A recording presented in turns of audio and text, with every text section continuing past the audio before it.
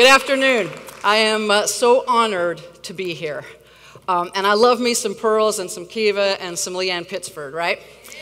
So in 1977, years before most of you were born, the woman on the right, Donna Hitchens, founded what was then the Lesbian Rights Project.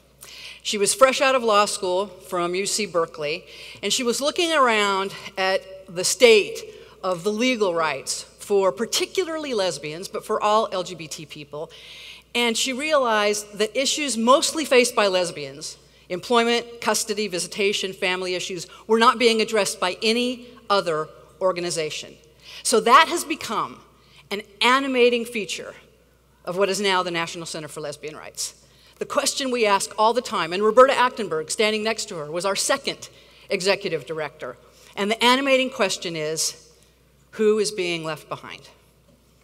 And we ask that question every year, we ask it every day, and it has led us to do work across the entire spectrum of our community. I became executive director of NCLR after being legal director for a couple of years in 1996. So, holy shit, it's 21 years that I've been the executive director of NCLR, which I can't believe. And if you knew anything about my attention span, you would realize how, what a miracle that is. When I came to NCLR in the 1990s, this is now almost 20 years past its founding, the issues were still the same.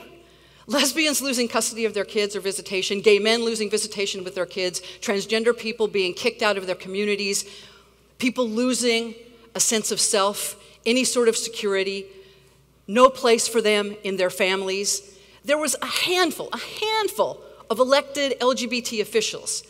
Certainly, no one with any big platform or celebrity was openly lesbian, gay, bisexual, or transgender. It was one year past my, um, my selection as executive director. You have to ignore the hair. Uh, the biggest controversy that I faced in that first year after um, assuming leadership of NCLR was when Ellen DeGeneres came out on her sitcom. Many of you may not know that before Ellen had this wildly popular talk show, she had a sitcom called Just Us Friends, and it was on ABC in prime time. It was one of the most popular shows in that time. Ellen came out on Oprah's show in 1996. And then in 1997, she made the decision to have her character come out on her sitcom. People fucking lost their minds. I ended up booked on what was then the biggest cable show of the time, Crossfire, facing the biggest homophobe of the time, the Reverend Jerry Falwell. Yeah, total douche. So, as Falwell was talking about what an abomination LGBT people were, homosexuality was, he then made this comment This is all about the gay agenda. And the American people do not want to see this lesbian lifestyle paraded in their living rooms. Let me just say that I appreciate an opportunity to respond to the rhetoric that Reverend Falwell and others opposed to lesbian and gay civil rights parrot, and that is that there is some sort of gay agenda. Let me just say, as a lesbian and the executive director of the National Center for Lesbian Rights, I can assure you there is not a gay agenda. What lesbians and gay men seek is the same kind of access, safety, and security that every other American enjoys, and to not be vilified, to not be punished, to not suffer based on our sexual orientation. It's an agenda of human rights. It's not some specialized agenda. Let me, let me ask the Reverend know, Falwell. Uh, and I don't know, uh, Geraldine, I don't know of anyone who is a reasonable person doesn't agree with Kate on that last statement. Okay, what the F? Jerry Falwell agrees with me on that last statement. I just want to point out, nine years later, he dropped dead of a heart attack. You're welcome.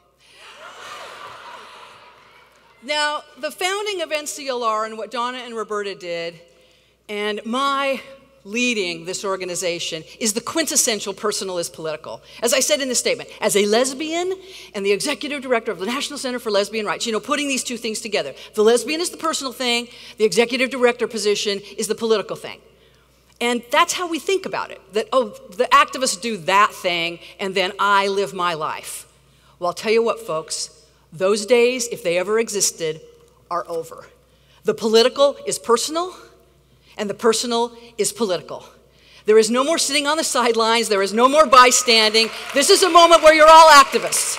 You're all part of an army of resistance. And you may not be Muslim, you may not be an African American man targeted by police in your community, you may not be transgender, you may not be an undocumented immigrant, but we all are all of those. And in order for those communities to be protected, we need to step up. Justice will not be served. Justice will not be served until those who are unaffected are as outraged as those who are. And I'm fucking outraged. I don't know about you, but I'm outraged. And that is how you serve justice by being outraged. I know, look, it's tiresome and it's difficult and it's, oh my God, it's exhausting. But that is how we serve justice. And you know, it hasn't required a whole lot of exhortation. It's 34 days since the inauguration of a madman. 34 days. And yet, the day after his inauguration, I want you to, if you, if you participated in any one of the marches in this country or around the world, I want you to stomp your feet. Let's, let's make the house ring. Oh, I knew it. I knew it. That day was the day that I knew he's going to do terrible things. He's already done terrible things this week, a prime example. But he is not going to be able to do his worst. We are not going to allow him to do his worst.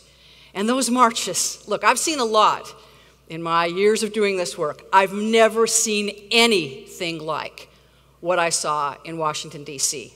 that day. That's how we're going to fight back. And it's not just the marches.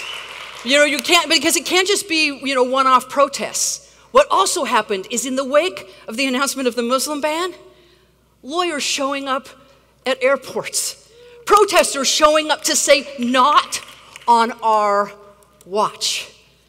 We will not allow it. Lawyers who didn't know anything about immigration, didn't know anything about sanctuary or asylum, showing up to say, whoever you're detaining, I'm their lawyer. That's, that's showing up. That's how we make a difference. And sometimes making a difference and showing up is simply by speaking your truth. The president is not a huge fan of me.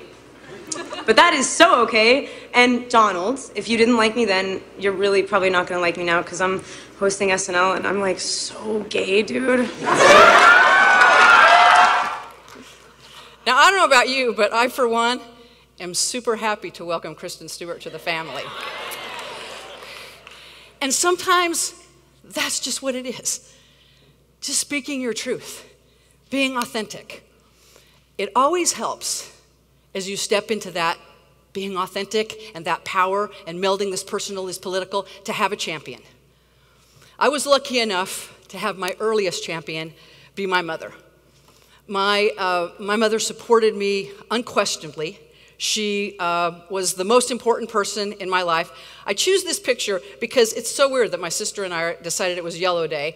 And, um, and that's my mom sort of peeking there. And my mom was the sort of person who lit up every room she ever walked into. She was always smiling. I literally, truly, honestly never heard her say a bad word about anyone.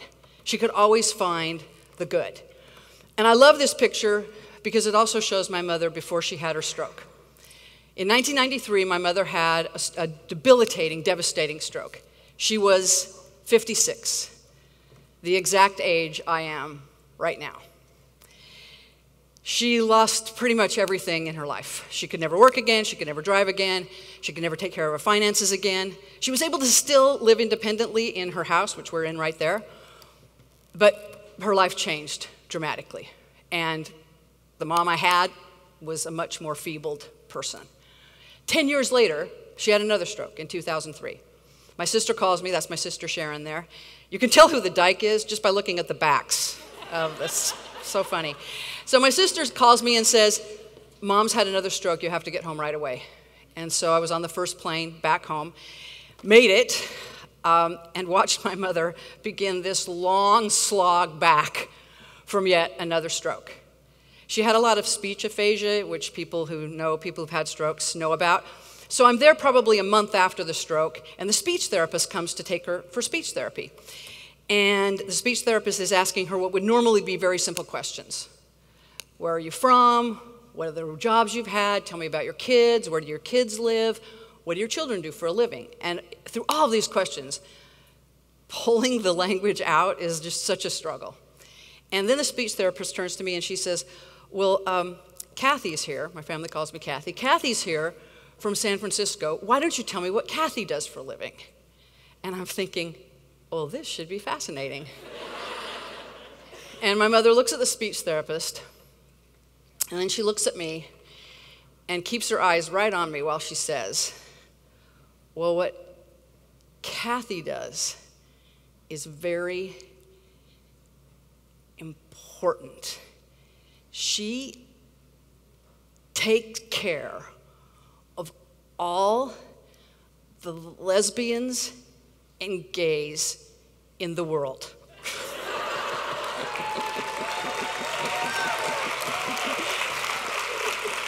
I know, right? And the speech therapist turns to me and says, Well, that's an awfully big job. and look, that's the mom I got. So the launch that I got was just enormous. So find that champion for you. Whoever that is, if it's your parent, you're super lucky. But if it's not, there's someone, and you deserve a champion. 45 seconds, I'm almost done. Power without love is reckless and abusive. The favorite first sentence of my favorite Martin Luther King quote Power without love is reckless and abusive, and we've seen 34 days of that. Love without power is sentimental and anemic. Power at its best is love implementing the demands of justice, and love at its best is power, correcting everything that stands against love. For the last decade, we as a queer community have benefited immeasurably from this marrying, no pun intended, of power and love, and now we pay it forward. And look, I know it's not going to be easy, but like as Toni Morrison wrote, there is no time for despair. There is no place for self pity. There is no need for silence, and there is no room for fear. We just don't have the space for that.